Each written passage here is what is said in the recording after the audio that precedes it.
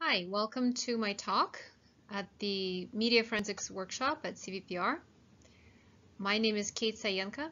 I'm a professor at Boston University and also at the MIT IBM Watson AI Lab. And the topic I'll discuss today is AI-generated misinformation and how we should approach it.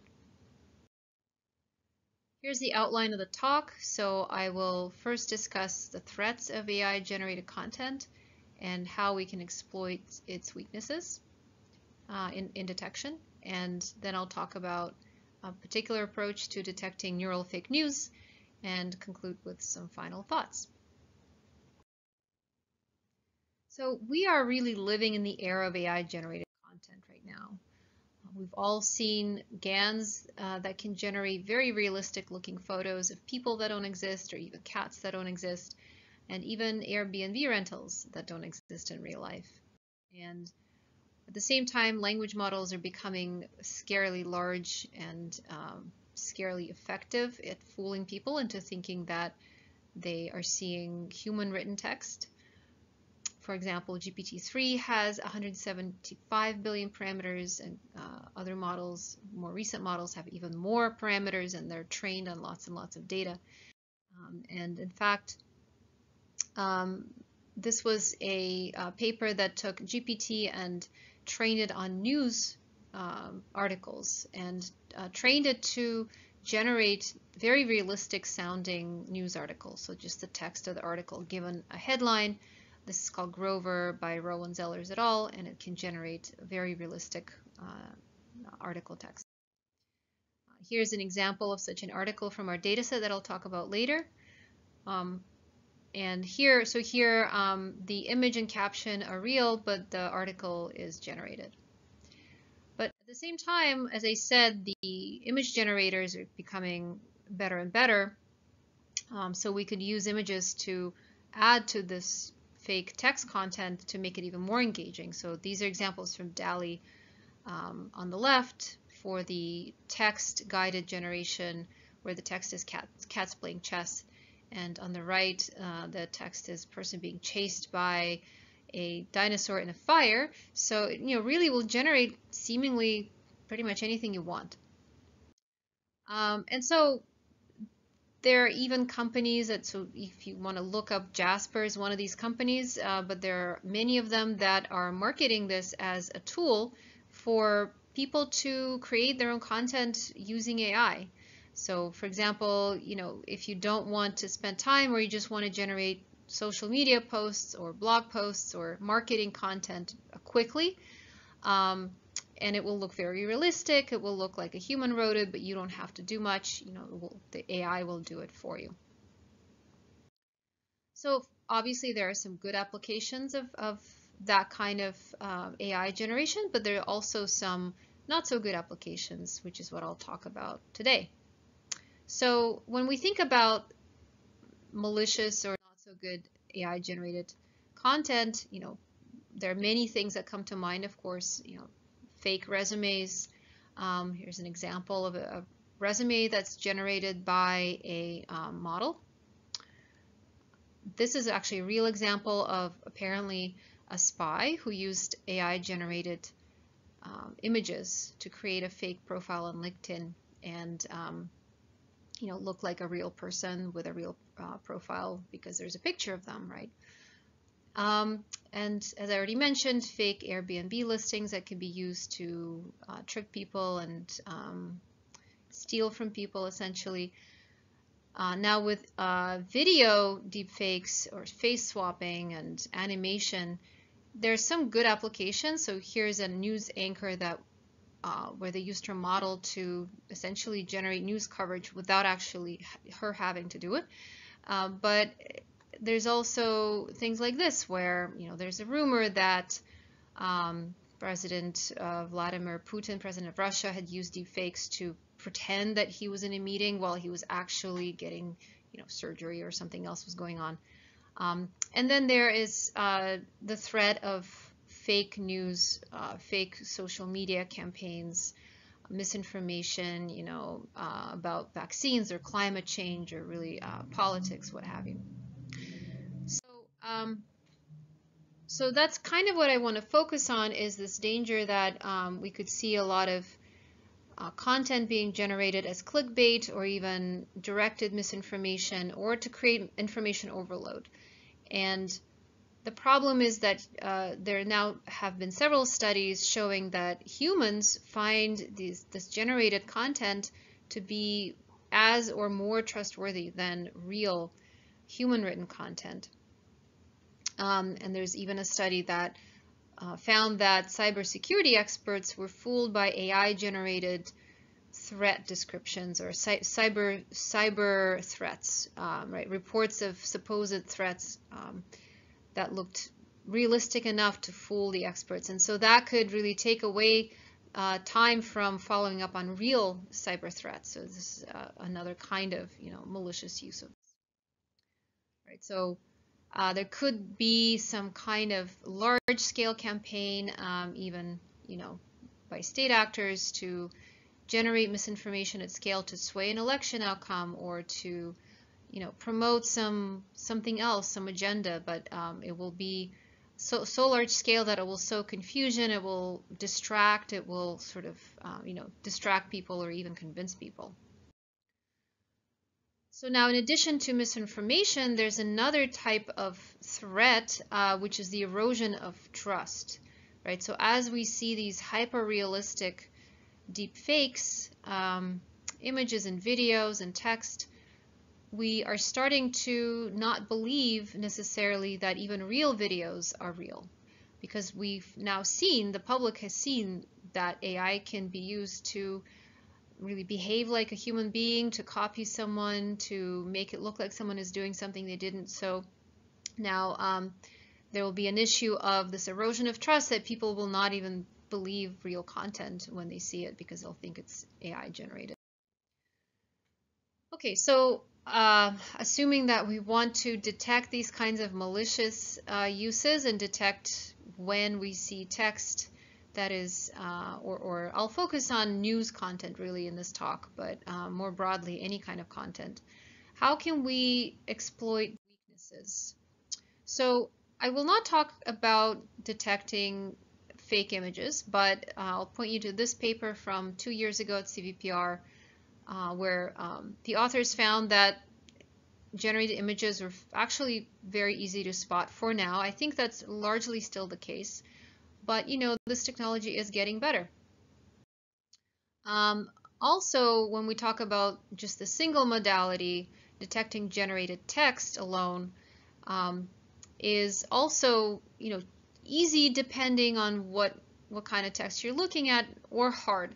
So in this case, this is from a study that looked at uh, various detectors that you see the columns here are different detectors that are just language models that are used as generators but with an extra layer, classification layer uh, added on top of them and they're trained on real and fake examples. And so um, as you see these different rows are different domains um, uh, of generated text from news articles for Grover, and then GoEmotions is a Reddit data set. Uh, and there are a few other data sets here. So actually you can see that um, the accuracy is quite high, uh, above 90% on in-domain longer text, greater than 100 or 200 words. But as you get to shorter text, accuracy drops to 70 or 80%. And if you uh, start looking at out-of-domain data, out-of-distribution data, so uh, data generated by a model that the detector wasn't trained on. Um, so on this kind of out of distribution data, accuracy drops even further. Okay, so what can we exploit then in addition to training such detectors? Uh, well, we can think of maybe some semantic features. Um, and certainly one of them is realism or coherency. Is the text coherent? Are the kind of the facts following each other in a logical um, sequence, logical order? Is the image realistic?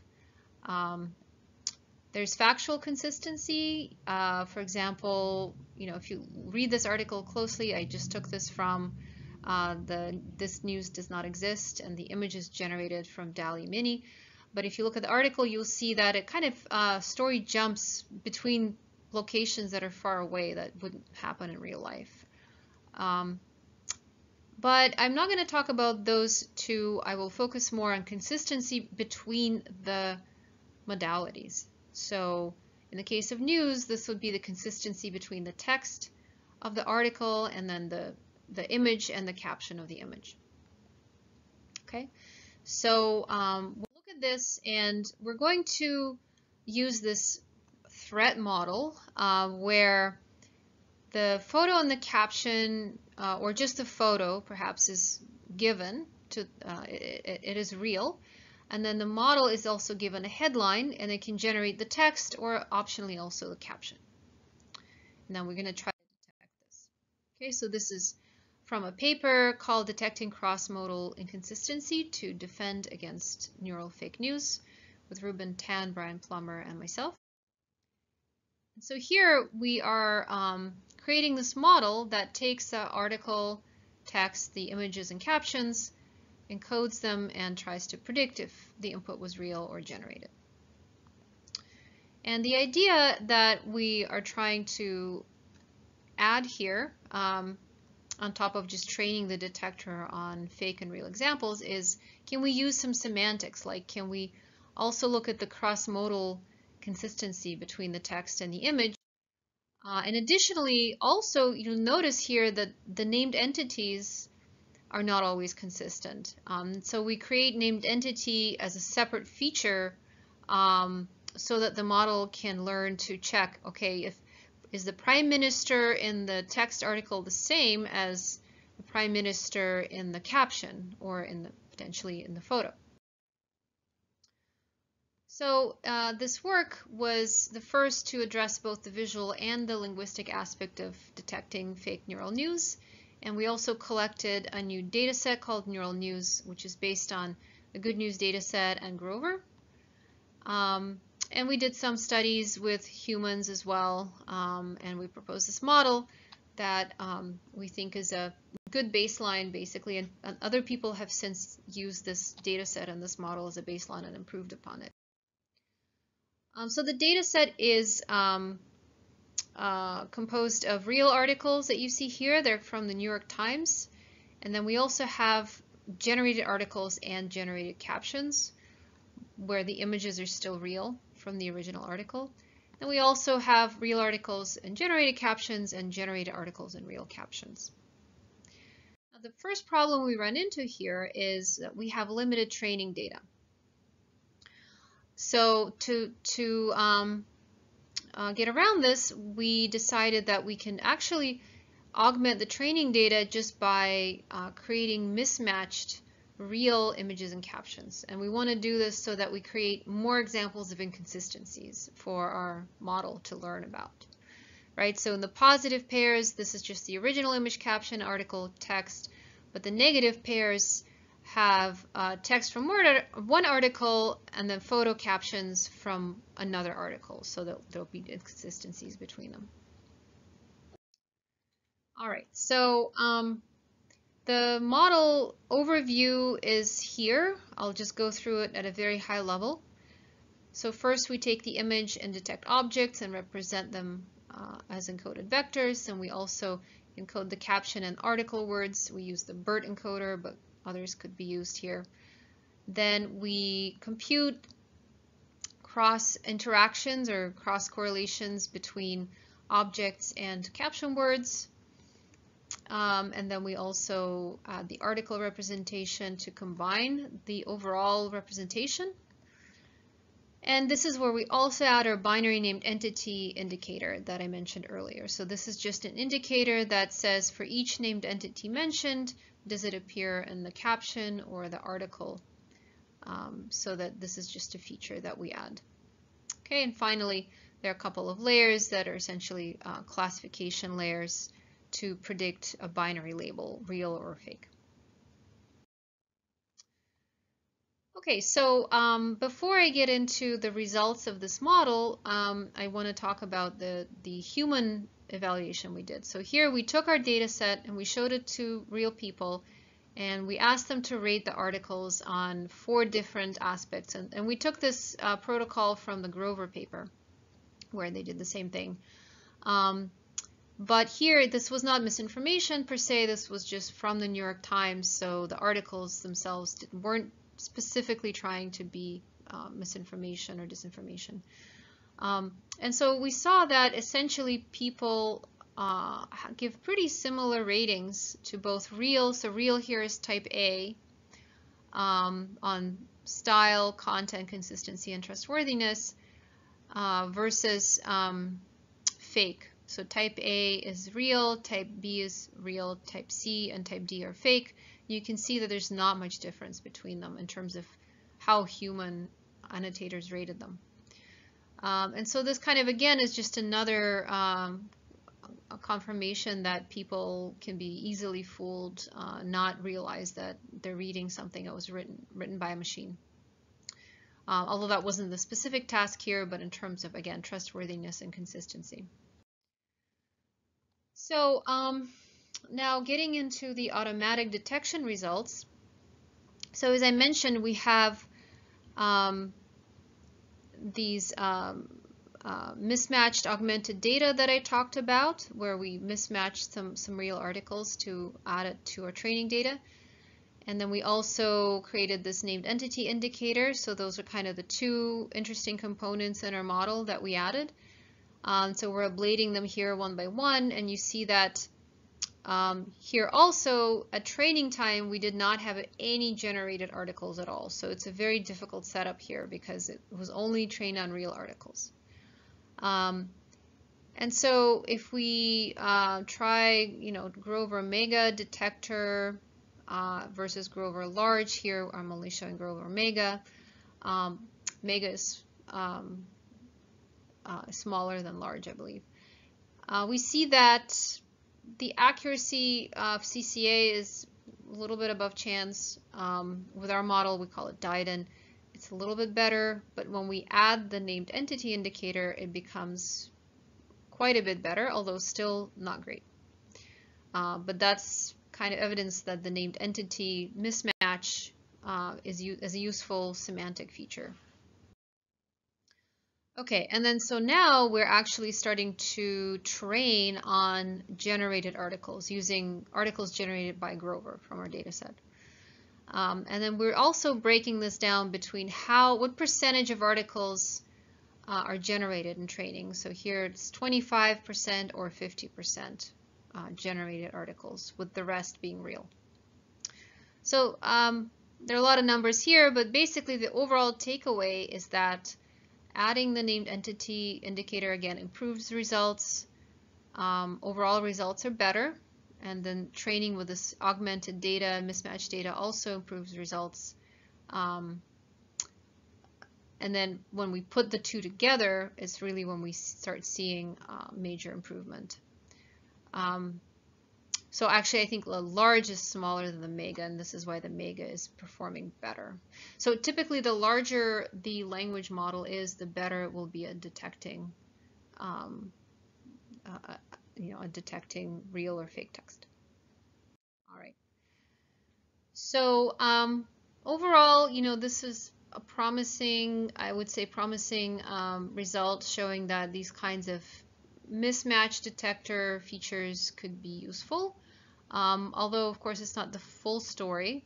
Here's an example prediction on the article that I showed you at the beginning of the talk, where um, if you look closely at this article, you actually see that it talks about uh, one person um, named John Vernick in the actual body of the article that who um, jumped out of an ambulance. And um, in the caption text, you see that it's talking about a different person called Yevgeny Kralkin. So there's immediately there you see there's a mismatch in the named entities. So this model is not um, very good at maintaining that consistency.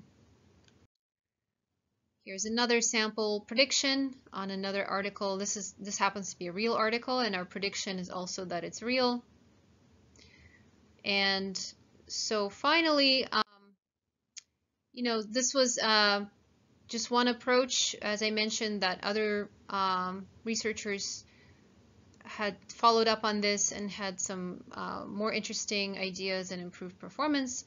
Uh, but I want to end my talk by sort of bringing up a few uh, broader issues here. So where do we see, or I should say, where do I see this heading in the future? Well, this is one kind of scenario that probably is still pretty far away, but you know, eventually someone could generate a whole movie completely um, from scratch, you know, or potentially with some minimal input like a rough plot. Um, but of course, we're not there yet, but you know, we're getting there. So with each individual modality, we're seeing better and better generation capabilities.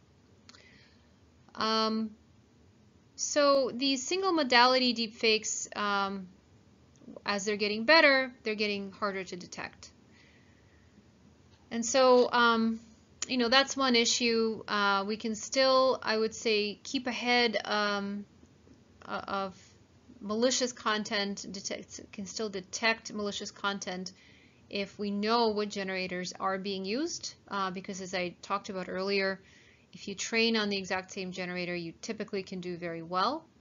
Um, but we're not guaranteed that we'll always know what generator the um, attacker or the, the malicious actor used to create the content. Another issue is uh, that these detectors could be attacked adversarially. In fact, they can be attacked adversarially, and it does um, change, it, it, does drop performance in terms of detection. Um, and so uh, potentially the kinds of consistency features that I talked about where we look at inconsistencies between modalities in order to detect uh, generated content and fake content. Um, in addition with some world knowledge, some fact checking. So I didn't talk about fact checking or, or inserting world knowledge here, but I think that could be um, another way definitely that we can try to detect these things. Um, and so hopefully this will, uh, the, these models, although they will certainly improve in how well they can match across modalities, but hopefully this will still lag behind and we can exploit that in detection. Um, another, um, I think, very interesting and useful approach potentially is um, using online context and, and facts that uh, appear out there on the web that come from trusted sources that you can uh, have the model automatically compare the new content uh, in question to existing trusted content online and look for inconsistencies, right? So this is one example um, from a paper from uh, Technical University of Munich and Google AI where they uh, look at this case, you know, where you have uh, an image and a caption, and then you can find, you know, the same, essentially the same caption was already used. So, so for this Obama um, uh, image on the right, the fake caption claims that uh, they're all visiting the Wuhan lab in 2015 for BAT project. The original caption uh, says that President Obama and Dr. Fauci are visiting the NIH lab in Maryland in 2014, right? So if you can find the original caption, you can use that to, um, and they use that here to detect this kind of inconsistency. So I think that's another fairly promising um, approach. And then, you know, for the broader problem, of course, what I talked about is just looking at whether or not some piece of text and images um, embedded in them if they're real or, or fake uh, or AI generated. But the broader problem is, of course, just um, uh, more complicated because we want to typically detect bots that are posting this kind of information, right? Um, and they're being used uh, for fraud or being used for misinformation campaigns. And in, in that broader problem, um, people use other kinds of features. For example, how these bots are posting, you know, their behavior online, uh, what the profiles look like, what other profiles are they connected with in, in a network Um, how well are they coordinating with other accounts? That's another uh, useful feature that people are looking at.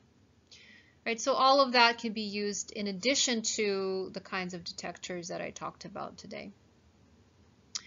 And then um, the other uh, issue here is that, of course, we uh, don't just want to know that something is AI generated. Potentially, we also want to know is it actually malicious or is it legitimate, right? So um, as I showed you at the beginning, there are companies that are trying to make products that will generate content. So there'll be lots of legitimate AI generated content online. And what the kinds that we want to know, we actually probably don't want to flag all of it, right? We want to flag only the kind that is concerning. Uh, and this will be things like propaganda or clickbait or deepfake pornography is a really big issue. This is, you know, probably one of the, the biggest applications of GANs right now out there on the web. Um, other kinds of illegal content, phishing, and uh, other kinds of scam um, types of scams. So characterizing the content in that sense uh, is also a, a, pretty important problem. And so um, to conclude, I just want to leave you with this quote um, uh, that I, I, took it from this paper where the link is at the bottom, but I really like the quote. So it says that humans learn about the world by collectively acquiring information, filtering it, and sharing what we know. And misinformation undermines this process. The repercussions are extensive. Without reliable and accurate sources of information, we cannot hope to halt climate change, make reasoned democratic decisions, or control a global pandemic. So I'll leave you with that and um, I'll stop here and if you have any questions, please feel free to reach out to me. Thank you very much for listening.